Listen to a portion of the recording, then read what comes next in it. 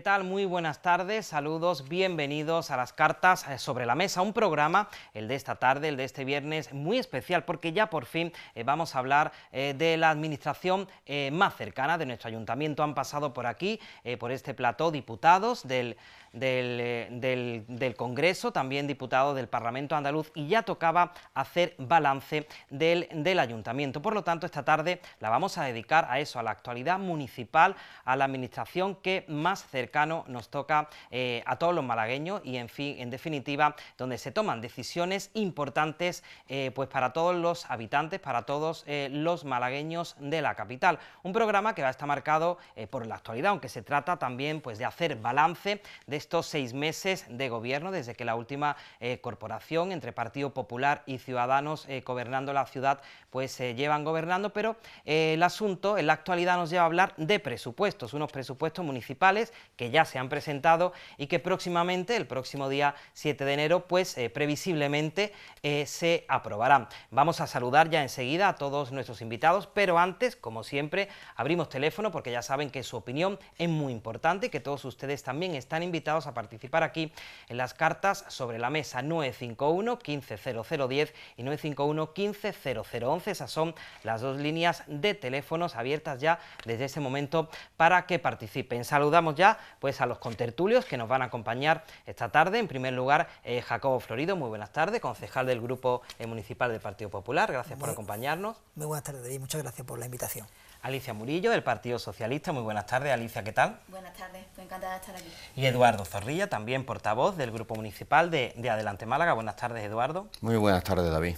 Decirles también a todos ustedes que está también, por supuesto, eh, invitado el Grupo Municipal de Ciudadanos. Estamos esperando eh, a la concejala, a la portavoz, a Noelia Losada, que enseguida pues, se incorporará y estará con nosotros. Pero si les parece, eh, vamos a comenzar ya, en primer lugar, pues con un balance general de esos presupuestos, unos presupuestos municipales que ya, como les he comentado, la pasada semana se presentaron y que rozan los 844 millones de euros. Jacobo. Eh, una valoración, en principio, de, esos presupuestos municipales. Bueno, pues yo como equipo de gobierno, o componente, conforma parte del equipo de gobierno, decir que son unos presupuestos realistas, donde los donde se destacan las inversiones en los, distritos, en nuestra Málaga, donde hay una congelación en los impuestos que afectan a nuestros ciudadanos y también se sigue primando por esos beneficios fiscales tan, tan importantes. Decir que también tiene cierta o bastante relevancia el gasto social, donde superan los 100 millones de, euros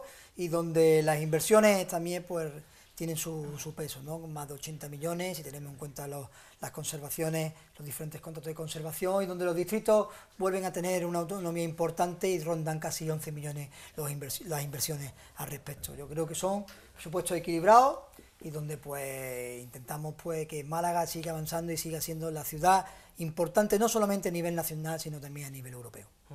El Partido Socialista, ¿cuál es la valoración de, esos presupuestos? Bueno, nosotros la valoración que hacemos es que creemos que son unos presupuestos que no abordan los principales problemas de las familias. Nosotros en los últimos meses hemos conocido a muchas familias que han tenido que pagar la plusvalía municipal y han tenido que rehipotecarse para poder seguir viviendo en el domicilio donde han vivido toda la vida, que era la casa de sus padres. Nosotros es conocido que en reiteradas ocasiones hemos pedido eh, la eliminación de la plusvalía mortis causa, no de la plusvalía en general, sino la plusvalía mortis causa, que es para que la gente pueda heredar la casa de sus padres y es algo que, recientemente precisamente escuchamos que el ayuntamiento, el equipo de gobierno dijo que sí que se iba a abordar en los presupuestos de 2020 y definitivamente no ha sido así. Estamos hablando de 19 millones de euros que salen todos los años de los bolsillos de los malagueños para poder pagar por quedarse en la casa de, que heredan de sus padres. Ese es uno de los principales problemas que vemos que no se abordan en el presupuesto. Luego hay otros otros temas que tampoco eh, que son de interés general y que, y que es necesario aportar otro tipo de soluciones, como es, por ejemplo, el tema de la vivienda.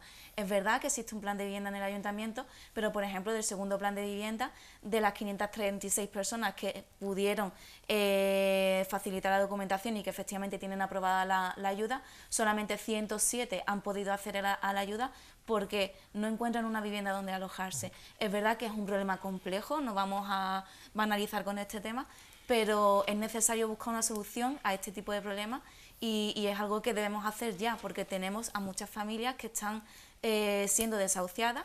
Hoy hemos conocido los datos eh, que dicen que Málaga es la segunda eh, provincia donde más ha subido el precio de, la vivienda y se han ejecutado en el primer semestre 1.279 desahucios. Son datos preocupantes que, bueno, que, que, es necesario resolver. Antes estábamos en una crisis de empleo y ahora estamos en una crisis de vivienda que todas las administraciones tenemos que abordar. Profundizaremos también después, eh, por supuesto, si te parecen algunos de esos asuntos, porque además el, Partido Socialista ha presentado hoy las enmiendas que, llevará ese presupuesto, pero también eh, queremos conocer la opinión de, Eduardo con respecto a, eso, a esos presupuestos municipales. Eduardo. Pues desde Adelante Málaga, la confluencia de Izquierda Unida y Podemos en nuestra ciudad, creemos que estos presupuestos pues son continuistas en el sentido de no abordar las eh, necesidades sociales que sufre gran parte de la población en Málaga. Málaga es una ciudad que está a la cabeza de paro, de precariedad. No hay, sin embargo, planes de empleo. Es más, este año se ha renunciado a aplicar en Málaga el plan de empleo que subvencionaba la Junta de Andalucía en los últimos años, el plan Empleo Joven, Empleo más 30 no abordan tampoco la necesidad de vivienda. En Málaga hay como mínimo una necesidad de 20.000 nuevas viviendas. Son 20.000 las familias demandantes de vivienda y eso son solamente las inscritas. Y sin embargo, pues la apuesta que se hace por la vivienda es la misma que se ha hecho en años anteriores de desarrollar las mil viviendas 476 en concreto en estos presupuestos al oeste de Teatinos, siendo ello insuficiente y teniendo también poca credibilidad si atenemos a los antecedentes que no se ha cumplido en los últimos años. Creemos, por otra parte, que son unos presupuestos que desvían un poco cuáles son las prioridades.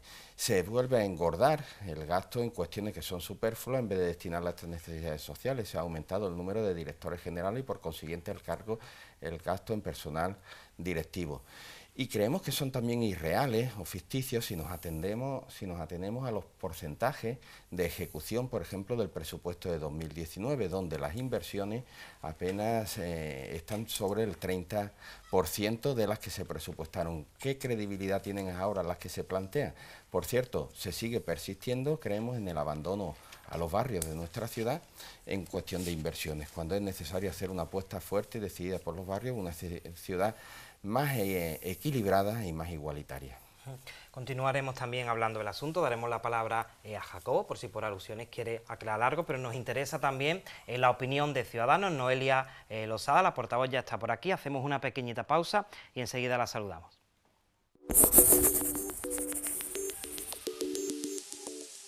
Que suene la música. Madres autónomas, emprendedores, jóvenes nuevos autónomos. Ahora en Andalucía, ser autónomo suena aún mejor, gracias a la ampliación extra de la tarifa plana. Infórmate en ata.es. ATA, unidos, vamos a más. Málaga es una tierra rica en tradiciones y por estas fechas el arte belenista nos ofrece un amplio abanico de obras para visitar en cofradías, peñas, asociaciones, instituciones públicas. Este año en PTV Málaga queremos que tu Belén sea también protagonista de la Navidad y por eso te proponemos que lo muestres a través de nuestras redes sociales, Facebook, Twitter o Instagram. Es muy sencillo. Primero, síguenos en nuestras redes. En Facebook estamos como PTV Málaga, en Twitter como arroba PTVMLG y en Instagram PTV-Málaga. Segundo, sube a tus perfiles de redes sociales algunas fotos o un pequeño vídeo de tu Belén particular, etiquetando y mencionando a PTV Málaga cuando hagas esa publicación. Tercero, envía un correo electrónico a concursobelenesptv.ptvtelecom.com avisándonos que has participado en este concurso, indicando tu perfil en redes sociales, nombre y apellidos, DNI y teléfono de contacto. Entre todos los participantes que nos muestren su Belén, sortearemos un fin de semana en un hotel de lujo en Marbella, con desayuno para dos personas y entrada al spa, por gentileza de Olletas Tour. Tienes hasta el 2 de enero para participar. ¿A qué esperas? Esta Navidad muestra a toda Málaga tu Belén con PTV. Que suene la música. Madres autónomas, emprendedores, jóvenes, nuevos autónomos Ahora en Andalucía, ser autónomo suena aún mejor, gracias a la ampliación extra de la tarifa plana. Infórmate en ata.es. ATA, unidos, vamos a más.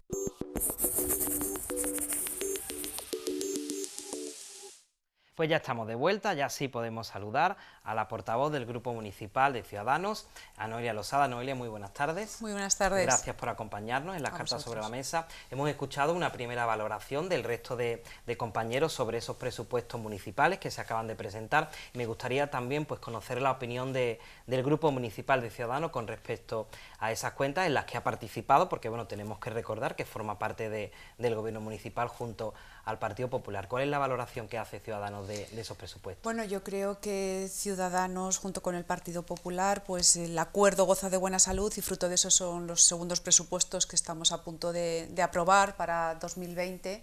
Presupuestos que suben la partida de gasto social y presupuestos que me parecen equilibrados, bajan la deuda, que para Ciudadanos es muy importante que se baje la deuda del Ayuntamiento de Málaga y creo que son unos presupuestos que permiten iniciar una serie de proyectos en la ciudad que, creo que redundan en beneficio de todos, como bueno, pues, infraestructuras deportivas, la puesta en marcha del Neo Albeniz y numerosísimos proyectos, asfaltado de 90 calles, los distritos reciben un buen porcentaje de esos presupuestos para la mejora de sus, de sus aceras, de sus servicios y yo, en definitiva, creo que son los presupuestos que Málaga necesita para el 2020.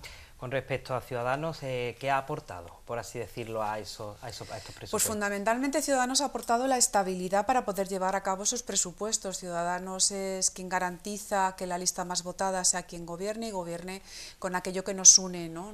olvidando las discrepancias y mirando por el bienestar de los malagueños y por, y por Málaga en general, ¿no? en las áreas que Ciudadanos está gestionando, como son cultura, deportes y el distrito de Teatinos, son unas áreas en las que bueno, pues se atienden las necesidades que existían de, como digo, de infraestructuras. Eh, en el área de cultura pues cabe destacar unas reformas que se van a hacer importantes en el, en el Cervantes, en el, en el Albéniz, además de la puesta en marcha del nuevo Albéniz, por no hablar de los dos hitos importantes que tiene la ciudad, que es el Málaga 2020, eh, capitalidad europea del deporte y, y el, bueno, los premios Goya que los tenemos aquí, aquí delante ya prácticamente. ¿no? Y el distrito de Teatinos, que es un distrito prácticamente con 47.000 malagueños ya, es un distrito en expansión que requiere de muchísimas infraestructuras para las familias, pues también se, se ha atendido esas necesidades, se, se asfaltan muchísimas calles, se acaba de inaugurar el nuevo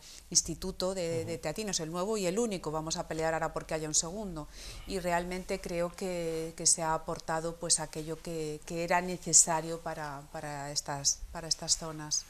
Bueno, tenemos aquí a, mm, las dos caras de, la moneda, ¿no? Por un lado, pues bueno, Partido Popular y Ciudadanos defendiendo esas cuentas y, y adelante Málaga y Partido Socialista pues diciendo todo lo contrario, ¿no? Noelia, por ejemplo, acaba de decir que son unos presupuestos pues muy sociales, Jacobo también se ha referido a esa parte social, y en cambio, bueno, pues la oposición eh, no lo considera así, criticaba que no hay, por ejemplo, partidas para el empleo, eh, partidas eh, para la vivienda, que no son unos presupuestos creíbles, pues no sé por parte de lo que... Por mi parte que me corresponde, se ha dicho aquí que se ha subido la partida en gasto personal, ¿no es verdad? Incluso se ha desminorado, por lo tanto, capítulo 1. Personal directivo, me refiero. Personal directivo, porque al final el personal el mismo, eh, y hay que recordar que la mayoría de los mm, directores generales son funcionarios.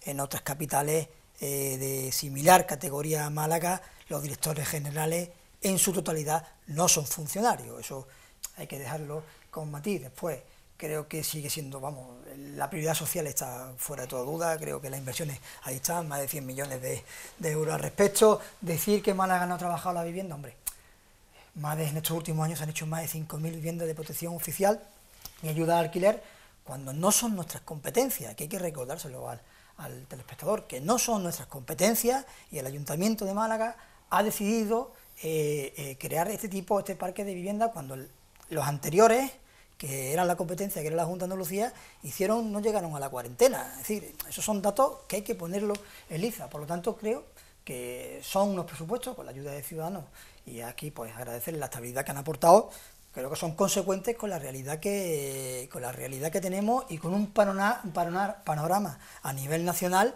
que no hace también pues reflejar cierta duda, ¿no? Existe la participación en el ingreso del Estado, son todo esto son eh, asuntos que importan a las ciudades, que importan a todo el ayuntamiento y que, bueno, que Málaga ha construido un, ha construido un presupuesto, sobre todo, realista en cuanto a la inversión, hombre, hemos tenido presupuesto hace poco, después de, después de las elecciones de mayo, esperando tal, y es cuando se ha aprobado un nuevo presupuesto. No ha dado tiempo a lo que no ha podido dar tiempo, ¿no? En este 2020, pues seguro que el nivel de ejecución será mucho mayor.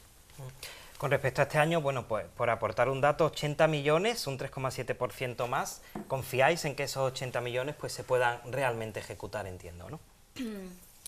Bueno, eh, yo en el tema de la ejecución presupuestaria, la verdad que em, no confío bastante, porque el año pasado, por ejemplo, se ejecutó, se dejó sin ejecutar el 19% del presupuesto, que es una cantidad bastante importante.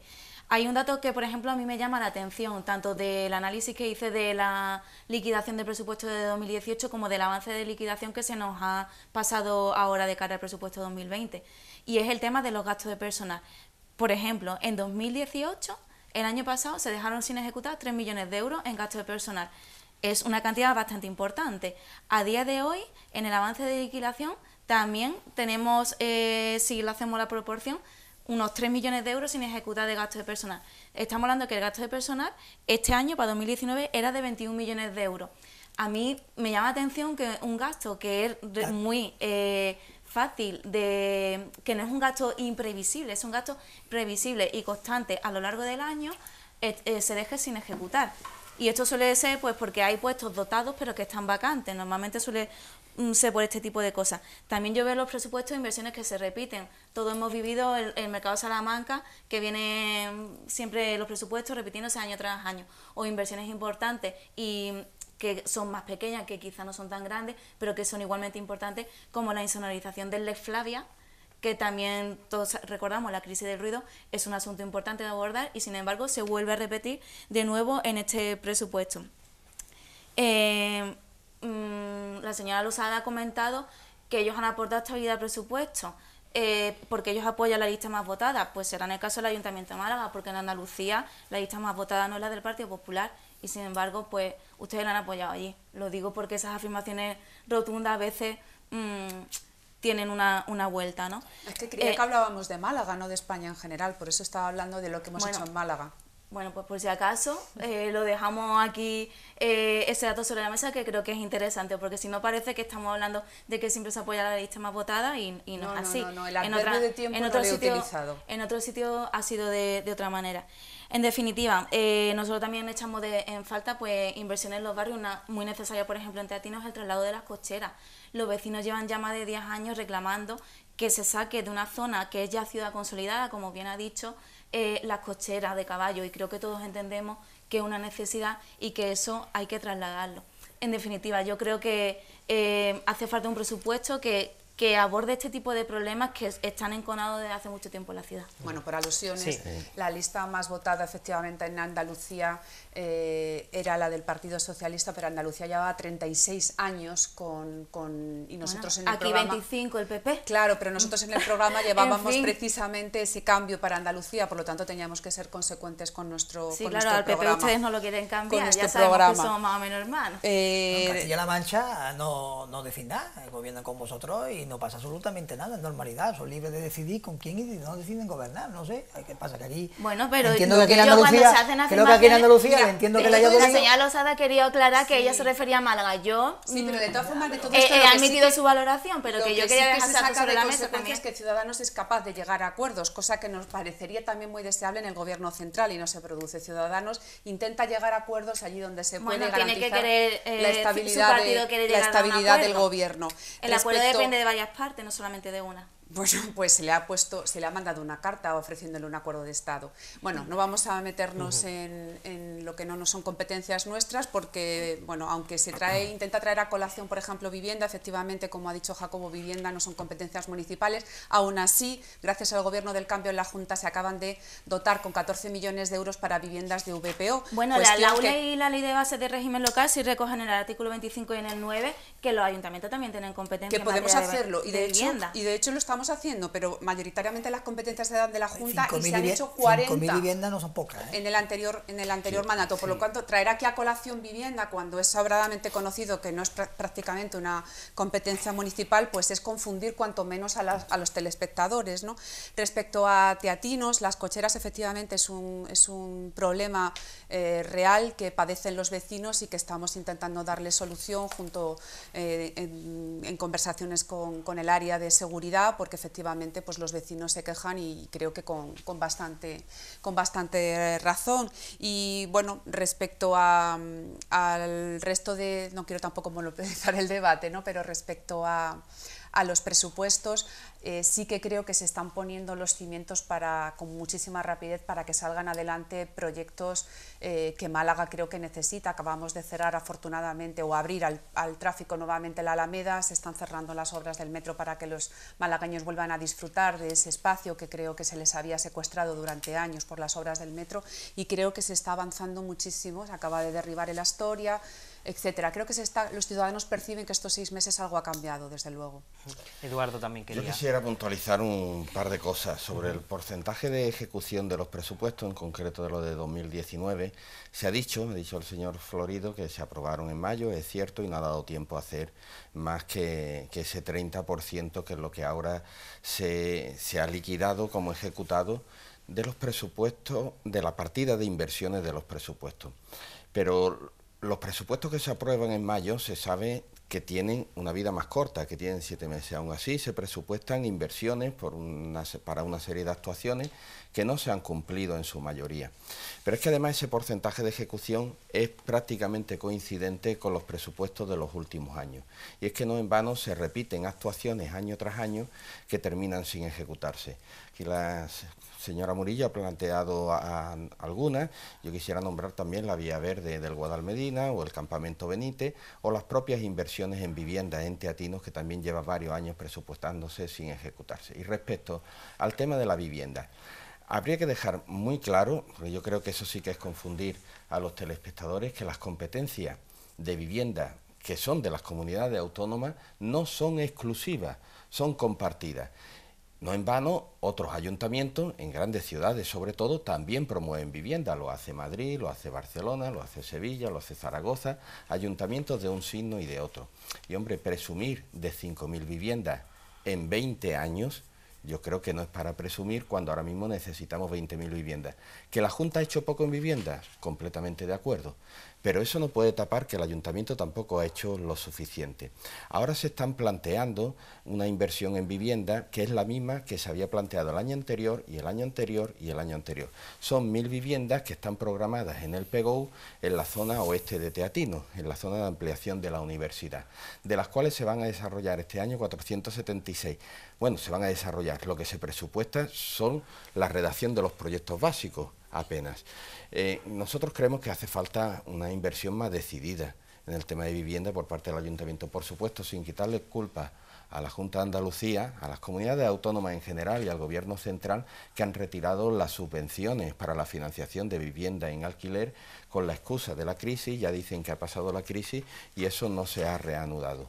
Pero es necesario, mm, y hay otras vías que están explorando otros ayuntamientos para obtener eh, financiación del Banco Europeo de Inversiones, que está financiando la vivienda de alquiler, la promoción de vivienda para el alquiler a un 50%, y nosotros tenemos millones de metros cuadrados, propiedad municipal, en la zona oeste de la ampliación de la universidad, que se permite por la ley que ese patrimonio municipal del suelo pueda venderse parte para poder financiar siempre que sean promociones de vivienda, preferentemente también en alquiler. Eh. Lo que se recoge en este, en esta en este presupuesto respecto a vivienda es muy poco, es insuficiente y además lo mismo que se ha presupuestado en años anteriores sin cumplirse. Eh, enseguida eh, os damos la palabra porque además hacía referencia pues al distrito en el que Noelia además pues lleva también el distrito de, de Teatino, el sector universidad, pero vamos a atender eh, una llamada. Buenas tardes. Buenas tardes. Buenas tardes, dígame su nombre. Claudio. Pues Claudio, adelante, ¿qué nos quiere contar? Pues nada, que estoy, estáis hablando de la, de la vivienda que son compartidas, la Junta de Andalucía y el Ayuntamiento de Málaga. Pues vaya un compartimiento chungo, porque la Junta de Andalucía ha hecho en 10 años 40 viviendas en Málaga y el Ayuntamiento ha hecho 5.500. no sé quién se ha llevado la, la, mayor parte ahí. A mí lo que me extraña es que la, la socialista defienda a la Junta de Andalucía. Esto es lo que, lo que más lo que más me duele a mí, porque ella será malagueña. Se refiere usted a Alicia, la socialista Alicia, Claudia, está Alicia. muy mal. La Junta de Andalucía con Málaga la tiene olvidada. Eso lo saben ustedes. Prueba está que ya no gobernáis en Andalucía, porque los socialistas no hemos votado. No hemos votado. Porque ya estamos cansados de que ustedes lo engañen una y otra vez. Y al señor Zorrilla, usted ha participado cuando la vivienda, la Junta Andalucía no la hacía, porque usted también estaba en el gobierno de la Junta Andalucía. concreto no. La señora Cortés Tuvimos dos años y medio en el gobierno. No nos engañéis, cosas por favor. vivienda en dos años No vayáis a engañarnos. El alcalde ha hecho vivienda, la Junta Andalucía no. No. Y Málaga hoy está de dulce, dicho por todo el mundo. No, es, no será la panacea, con sus virtudes, pero Málaga está de dulce. Y la gente se viene a vivir a Málaga. ¿Por qué? Porque es una ciudad acogedora y limpia, con, todo lo que habláis de suciedad. Si no dar un paseito por el centro, por el paseo marítimo, por el jardín de la abadía, por, por todos los barrios. No vayáis a la, a la esterquera, no, a los barrios que es lo que están limpios. Así que por favor, no nos engañéis más. No nos engañéis más y arrimar al hombro para ayudar al desarrollo de, de Málaga que todos los proyectos los estáis tirando para atrás. Lleváis toda la vida tirando los proyectos hacia atrás. Los socialistas y los comunistas. Muchas gracias. que ya lo otro lo hemos usado. Claudio, muchas gracias. Vamos a escuchar. Un saludo, me alegro de veros. Gracias, Claudio, igualmente. Vamos a escuchar por alusiones a Alicia y a Eduardo si quieren, si quieren añadir algo. Sí. Eh, bueno, pues por alusiones. Yo no defiendo lo que ha hecho la Junta de Andalucía en vivienda. Por cierto, Claudio, que nosotros tuvimos dos años y medio en ese gobierno de la Junta de Andalucía. Se aprobó una ley de derecho a la vivienda que se recurrió al Constitucional por el Partido Popular y que finalmente el Constitucional nos dio la razón y se hicieron algunas medidas para promover el que saliera vivienda al mercado. La Junta de Andalucía ha hecho muy poco en estos últimos 20 años pero el ayuntamiento tampoco puede presumir. Yo, mm, poniendo un símil escolar, diría que uno tiene un muy deficiente y el otro tiene un insuficiente. O sea, el ayuntamiento de Málaga, y si lo comparamos con otras grandes ciudades, 5.000 viviendas en 20 años, no es para presumir, es muy poco. ¿Que la Junta ha hecho menos? Por supuesto que ha hecho menos. Pero ninguno de los dos tiene el aprobado en esta materia. Por cierto, en cuanto a la sociedad, yo vivo al lado del Jardín de la Abadía eh, y no está tan limpio.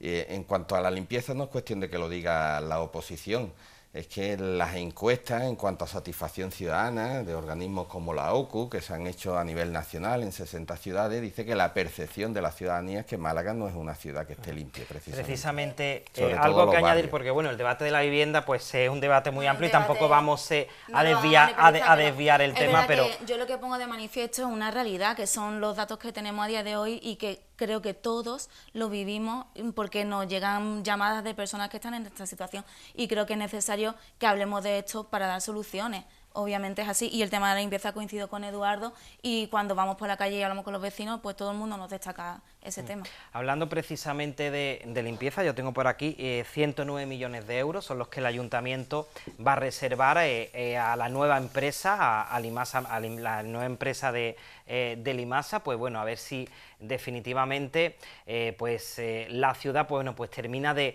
de arrancar o termina de consolidarse, mejor dicho, esa empresa y tiene ya a los malagueños contentos. No sé cómo valoráis esa... Bueno, yo quiero decir que esto parte de dos, aquí hay dos actores la empresa en sí y la ciudadanía también, ¿no? y ambas, efectivamente, y ambas se tienen que complementar para que una haga el trabajo debidamente y el otro pues ensucie lo menos, lo menos posible. Quitando de esto, pues bueno, al final el alcalde pues eh, estamos en vía pues de, de cumplir por lo, con, lo que, con lo que el alcalde ha establecido, que es ¿no? pues la, denominarlo de alguna manera la hacer pública la, anterior empresa de, de, Limasa que pues que esperemos en breve eh, sea una realidad y para ello pues han puesto los cimientos necesarios que es, que es este presupuesto. Una postura, ¿no, Noelia, de municipalizar Limasa? Sí, bueno, nosotros es público que no era el modelo por el que apostábamos, pero bueno, al final es el que ha decidido mayoritariamente en los grupos y nos lo vamos a respetar y al revés, deseamos que sea el elegido el idóneo, ¿no? Para que Málaga pues efectivamente tenga unos servicios de limpieza que generen bueno, pues mayor satisfacción, que los ciudadanos perciban eh, una, una pues, una eficacia en el servicio y al menor coste posible. Siempre hemos defendido que el anterior sistema tenía lo peor del sistema público y del sistema privado y nosotros defendíamos privatizarlo porque en el 90% de las ciudades españolas está privatizado y, bueno, pues es el modelo que se ha seguido mayoritariamente, por eso de lo defendíamos y además sectorializarlo. Pero no ha sido así al final la opción y nosotros pues lo que deseamos es, como no puede ser de otra manera, que se haya acertado con el modelo y que desde luego mejore, mejore los ratios de limpieza y que le cuesta a los ciudadanos lo menos posible. Adelante, Partido Socialista, si apostabais por esa municipalización, eh, ¿damos un voto de confianza a esa nueva empresa, Limpieza en Málaga, o lo dejamos? Bueno, creo que obviamente habrá que dar un voto de confianza. La municipalización era algo que nosotros llevábamos también eh, pidiendo desde hace muchísimo tiempo. Y, bueno, creo que también una de las cosas que habrá que acometer ahora será inversión también eh, en maquinaria, nuevo utillaje, que permita también eh, mejorar lo que es la limpieza, porque al fin y al cabo lo que quieren ver los malagueños es su ciudad limpia. Es verdad que también es muy importante la concienciación de los vecinos y las vecinas, que todos tenemos que colaborar en este asunto, pero también era importante que tuviésemos una empresa en condiciones y que tengamos las herramientas para poder llevar a cabo la limpieza en la ciudad. Eduardo. Mm, yo de acuerdo con lo que señala mi compañera Alicia. Desde Adelante Málaga bueno, anteriormente Izquierda Unida siempre defendimos la municipalización, incluso en tiempos cuando gobernaba Pedro Aparicio en la ciudad. Nosotros hemos defendido que es un sistema más eficiente porque permite con los mismos recursos pues tener más medios, el ahorro que se puede producir pues en IVA, en beneficio industrial, en la, en la cuota que se nos cobraba como asistencia técnica permite que esos recursos pues, se destinen a tener más medio humano y mejores y más medios técnicos. Por esa razón también el convencimiento al que ha llegado el propio alcalde que apostó por la municipalización. Obviamente no es una cuestión ideológica, en el alcalde no es sospechoso de izquierdismo, sino que los números cantan y que entendió que era el mejor sistema. Eh, nosotros creemos que el sistema que ha habido hasta ahora pues fue nefasto, fue un contrato que en su día se le denominó por los medios de comunicación el contrato del siglo, que blindaba unos beneficios astronómicos para las empresas privadas que formaban parte de la sociedad, fuera mal o fuera bien esa empresa, y que ha hecho que esta ciudad esté muy mal gestionada en la limpieza. Sí estoy de acuerdo con lo que ha señalado mi compañero Jacobo en cuanto a que esto tiene dos patas, la gestión de la limpieza y también la concienciación ciudadana, obviamente. Tenemos que mejorar también en la educación, en la concienciación y en los comportamientos cívicos. Pero también he sabido que cuando algo está limpio, también incita a la ciudadanía a cuidarlo. Cuando algo está sucio, sin justificarlo, ni mucho menos, se produce el efecto perverso de que la ciudadanía es más descuidada también con esa suciedad. Pero tiene que haber una concienciación y un comportamiento más cívico por parte de la ciudadanía, desde luego. ¿Algo que añadir? Por parte del asunto? Bueno, mm, solamente en esto de percibir la, la, calle me ha sorprendido muchísimo como concejal del distrito de Teatinos, la colonia Santines es curioso porque los vecinos perciben sus calles como una prolongación de sus casas y ellos, eh, no digo que todo el mundo lo pueda hacer ni que deba, pero que sí que me ha parecido y quiero resaltarle un modelo eh, de buena vecindad, ¿no? Tienen las calles como los chorros del oro y, y conciben eh, su trocito de acera como si fuera parte de su casa, ¿no? me parece que cuidan las calles ya digo, como si fueran propias, ¿no? Y bueno, es un ejemplo, lo cual no quita para que efectivamente desde los servicios municipales también haya que proporcionar un buen servicio de limpieza, ¿no? Pero sí que, pues me parece que tengo que felicitarlos por ello.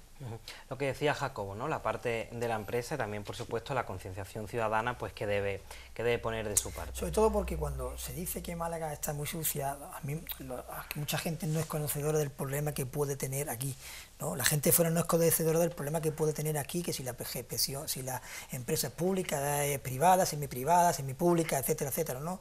Cuando trasciende la frontera, lo que se piensa es que el malagueño en sí eh, incita, ¿no? y mucho más, ¿no? y no es así, ¿no? No, no, ha llegado el caso, pero sí es verdad que a veces pues, hay que complementarse y la empresa tiene que hacer su trabajo, pero también los malagueños, los que nos visitan, tienen que saber que esto hay que mantenerlo entre todos limpio. Y profundizar en el cumplimiento de la ordenanza. Si hay una ordenanza, por ejemplo, para la recogida de excrementos de animales, pues efectivamente se tiene que, poner las sanciones que deban ponerse y, hay que incidir también ¿no? en un efecto sancionador a quien incumpla las ordenanzas de limpieza de la ciudad. 11,7 millones de euros, eh, por aportar otro dato, eh, para los barrios. También se quejaba ¿no? en, alguna ocasión la, oposición de los barrios que, bueno, pues están, a, vuestro juicio, ¿no? Pues están, están olvidados. No sé si 11,7 millones, diferentes actuaciones. Yo quiero especificar porque son 11,7 millones que los, que los distritos van a gestionar directamente. Hay que contar que los otros 80 de inversión se hacen en Málaga, se hacen en distritos. Es decir, eh, en este trato sí me gustaría utilizar el lenguaje, tal vez el, lenguaje correcto, en el sentido que son 11,7 millones que los distritos en sí, yo soy concejal de un distrito, voy a tener como gestión directa, pero después de otro tanto que son 80, que más bien son las grandes áreas, pero que se hacen netamente en, los distritos. Pero nosotros muchas veces cuando hablamos de eso, yo sé que hay inversiones de mantenimiento, obviamente hay que mantener la ciudad, el acerado, la, ciudad tiene que estar limpia, pero se echan en falta inversiones, por ejemplo, yo que soy de Miraflores, allí eh, hay una gran escasez de equipamiento deportivo. Hay un campo de fútbol, que es el campo de fútbol del Gibraltar, comprometido desde hace ya varios años y sin embargo no se ha hecho. Estamos hablando que es que Miraflores, solamente en lo que es el barrio barrio de Miraflores, no el distrito, no, perdón, en el distrito, viven unas 70.000 personas.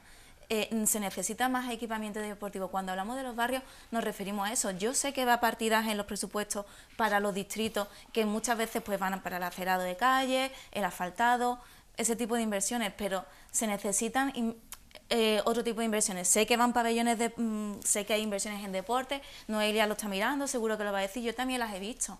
Pero, por ejemplo, el campo de fútbol de Miraflores, en una de las zonas más densamente pobladas de la ciudad, que todos sabemos los problemas que tiene mm, por estar tan densamente poblada de aparcamiento, de barrera arquitectónica, ahí no, está esa inversión eh, realizada. O el ejemplo que hemos puesto antes de las cocheras de, de en la ciudad consolidada. Nos referimos a ese tipo de inversiones.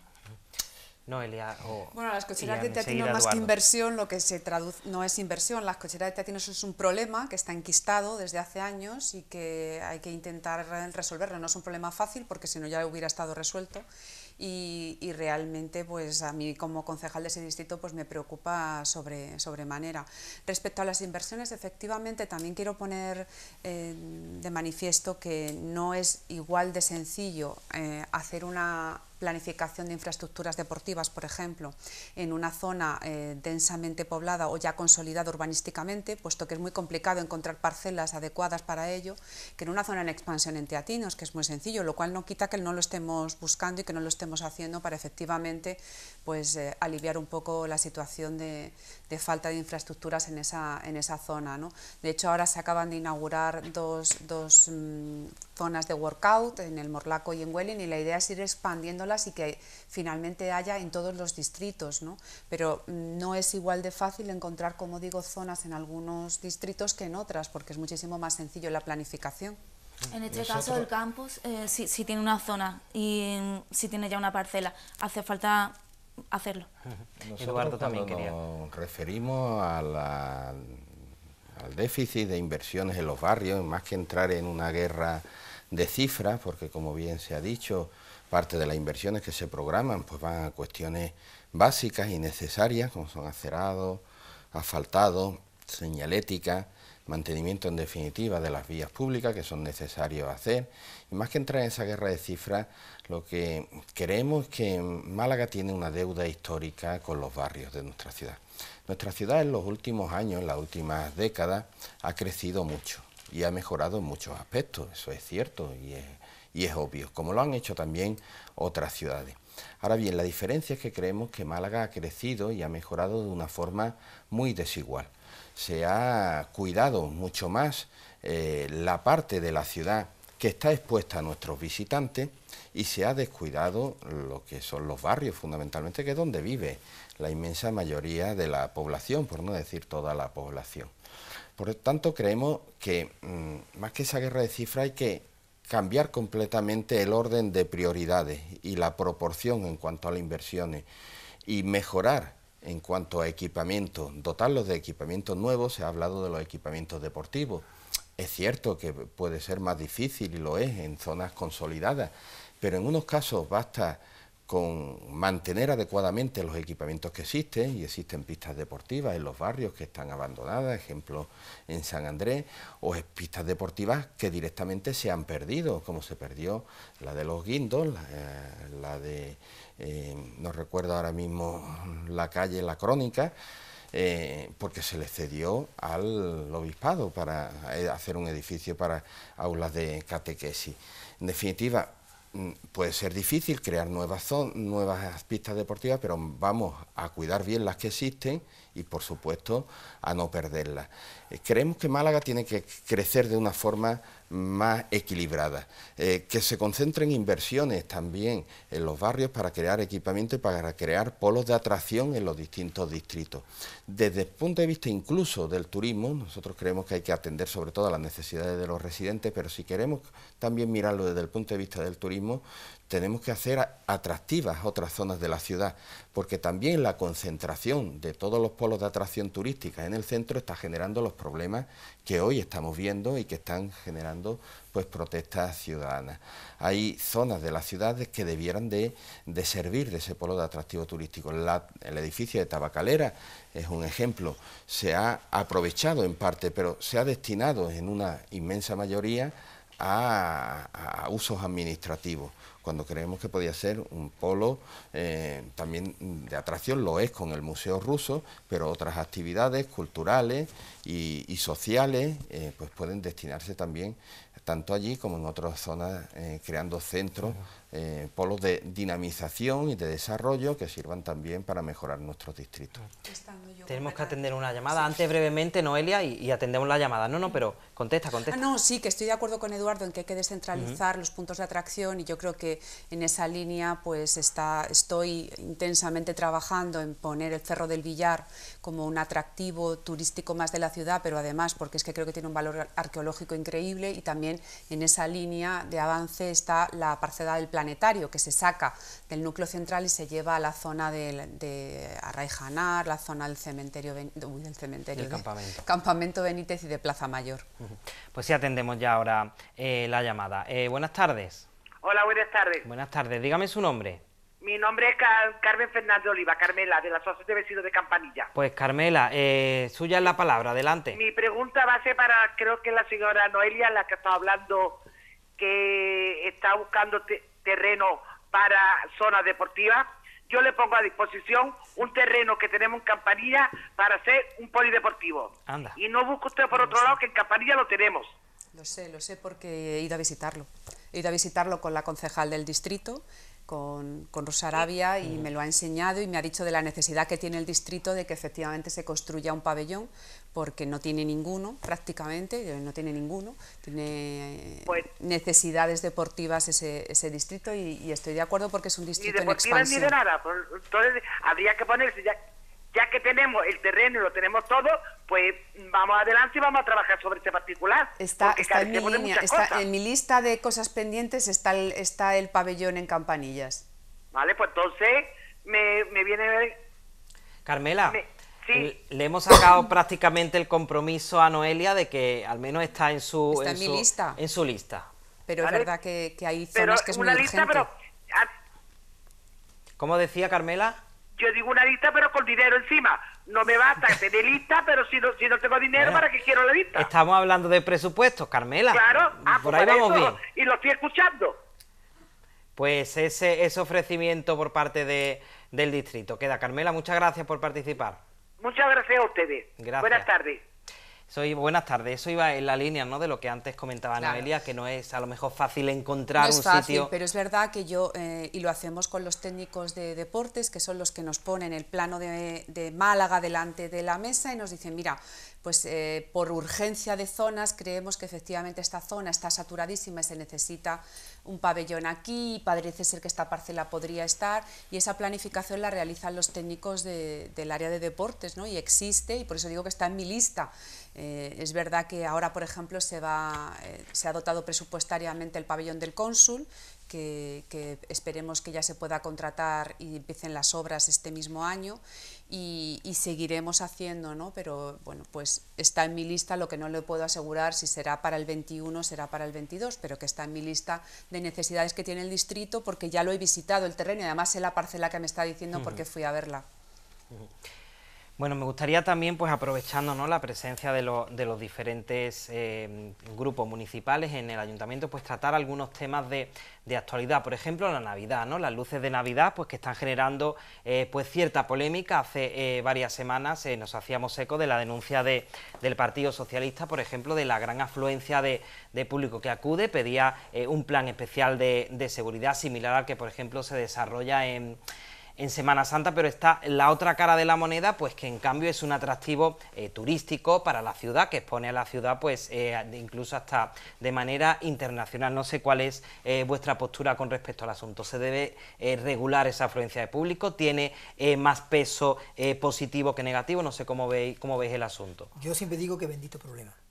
Tenemos el problema de una ciudad importante, de una ciudad grande, de una ciudad señorial, una gran ciudad, no solamente en términos andaluces y españoles, sino en términos europeos. Por lo tanto, toda gran ciudad pues tiene este problema, ¿no? Pues que cuando hay grandes eventos, pues se satura y siempre, siempre hay ciudadanos que con toda la razón del mundo, del mundo se pueden quejar, pero yo creo que no es un problema que difiera a lo que tiene Barcelona, a lo que tiene Madrid o lo que tiene Sevilla en los momentos de más repunte de eventos. Yo creo que Málaga puso Eliza esta competición que hay eh, entre luces, ya vemos algunos alcaldes por ahí de otro signo político, que, también se ha gastado su dinerito en, luces y nadie dice nada. Eh, por lo tanto, entendemos que se ha comprobado que este modelo funciona, funciona. Que después hay que limar ciertos aspectos. Obviamente, los problemas surgen cuando se desarrollan cierto tipo de eventos hay que apostar más por un tema más de movilidad eh, pública, pero insisto, el ciudadano es libre, es libre, y yo eso sí que lo defiendo, de utilizar el medio que estime más oportuno. Si un ciudadano quiere venir en coche, pues oye, tiene que saber que se puede encontrar pues que no tenga aparcamiento, porque pues debe de utilizar otros medios, ¿no? Pero yo digo que siempre que esto es un bendito problema dentro de toda la problemática que pueda eh, conllevar. Yo creo que es que no estamos acostumbrados al éxito que tiene Málaga últimamente y entonces efectivamente nos, nos, genera problemas. ¿no? Eh, Hace poco salía el dato publicado que Málaga es el sexto destino eh, más buscado para Nochevieja y efectivamente pues cuando todo el mundo quiere venir a Málaga genera problemas de movilidad o, genera ciertas molestias pues que tendremos que ir acometiendo, ¿no? Pero efectivamente Málaga está de moda, todo el mundo quiere venir a Málaga y eso pues conlleva que haya muchísima afluencia puntual en, algunos, en algunas situaciones como es la Navidad, ¿no? Y que tendremos que gestionar. Yo estoy acostumbrada de siempre a ir a grandes ciudades y en las épocas de Navidad pues tienen que cortar hasta las salidas de metro por, las, por, por la el problema que genera de embotellamiento, ¿no? Y están habituados porque es normal, ¿no? Sin embargo, en Málaga pues no estábamos acostumbrados a, esta afluencia masiva de gente y yo de verdad que creo que, es maravilloso que Málaga esté de moda y que todo el mundo quiera venir a ver nuestra ciudad. ¿Atendemos otra em, llamada o contestáis rápido? Como queráis. Contestáis rápido y, por no hacer esperar.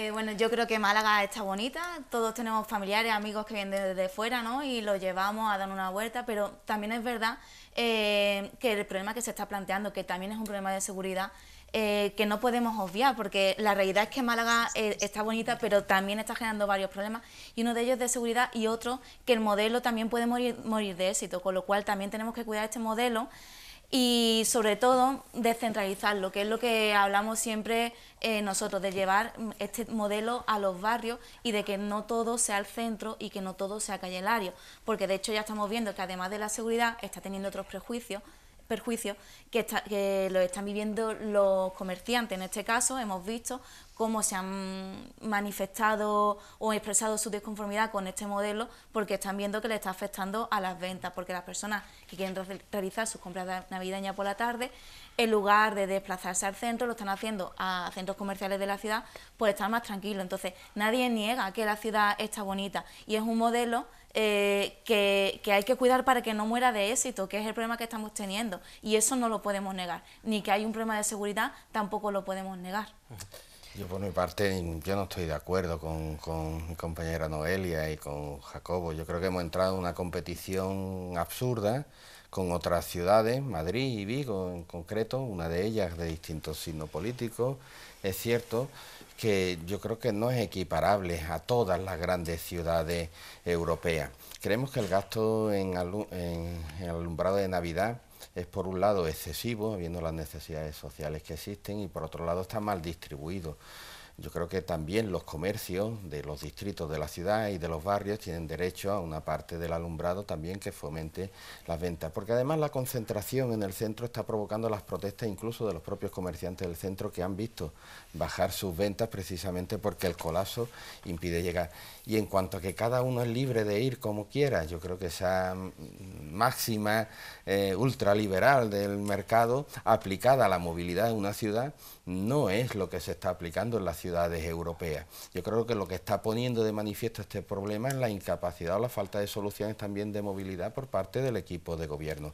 En otras ciudades sí se toman medidas restrictivas en cuanto al tráfico privado y se potencia el transporte público, entre otras cosas para evitar pues que esta afluencia de gente pues genere los problemas que en Málaga se han generado este año. Os doy la palabra enseguida, si, si nos da tiempo, pero tenemos otra llamada esperando. Buenas tardes. Hola, buenas tardes. Buenas tardes, dígame su nombre. Me llamo Antonio Sánchez. Pues Antonio, ¿qué nos quiere comentar? Adelante. Vamos a ver, yo soy de la barriada de La Roca. Antonio, le voy a pedir por favor brevedad porque quedan pocos minutos y si, y si quiere que le contesten, pues rápido por favor, Antonio. yo, yo conozco a Eduardo, yo soy bombero retirado, ya jubilado y tengo una minusvalía y no llega el autobús aquí. El autobús llega de La Palma a Palmilla y el 15 y todo. Y entonces no hay soluciones y hay soluciones porque el plan de lo que es la pista de tenis tiene una calle cortada que podría tener acceso al lado del materno. Y aquí estamos 140, ya llevamos 40 años aquí ya en la barriada y algunos señores evitaron que aquí no llegara el autobús. Y yo tengo 75 años, tengo una minusvalía y desde Bodino hasta llegar al materno infantil no está preparado para la minusvalía. Pero Antonio, disculpe Antonio, se refiere a que el autobús no entra en la urbanización de la Roca, se refiere, ¿no? Sí, porque a algunos señores les estorbaba, porque dice que se iba a untar el personal de Palma a Palmilla, y a mí me da igual, son, somos todos de distrito. ¿Pero a quién le estorbaba? Algunos señores que en aquel día era de la Junta de Distrito y eso no le podía a ellos. Y son personas igual como nosotros. Yo que yo tenga, que tenga la normabilidad de pegado a las pistas, hay una calle que está cortada. Y eso lo sabe Eduardo. Que hay una pista, pista de tenis, que también estoy en contra, que la vaya privatizando, que no se haga cargo el ayuntamiento y que cobre esos dineros que a la larga nos va a costar a nosotros. Esas pistas tienen que estar un, controlada por el ayuntamiento, no por los cuatro señores que están comiendo y están administrando una comunidad y mi mancomunidad. Te lo Antonio, digo, te lo dicho al secretario. Gracias. Eh, Antonio, gracias, pero quedan pocos minutos y por si quiere... Nada más quiero decirle felicidades a todos y yo como Igualmente, Igualmente Antonio. Muchas gracias, Antonio, por participar. Bueno, decía Antonio, pues se expresaba ¿no? rápidamente esa reivindicación de que el autobús de la mente llegase a la barría de la Roque, también pues hacía referencia a, unas pistas, a esas pistas deportivas pues que hay allí, pues que bueno, están ahora mismo, pues entiendo que explotadas por manos privadas, pues para que la gente alquile y pueda y pueda pues eh, practicar el deporte. Rápidamente, si queréis añadir algo, porque ya quedan pocos minutos y despedimos si no el programa. Un saludo para Antonio y, comparto la exposición que ha hecho. Pues muchísimas gracias a todos. Quedan temas eh, en el tintero porque bueno, los presupuestos eh, dan mucho de sí. Hay proyectos importantes también para la ciudad, para el próximo año, la Gala de los Goya, la capitalidad europea del deporte, que Noelia hacía referencia.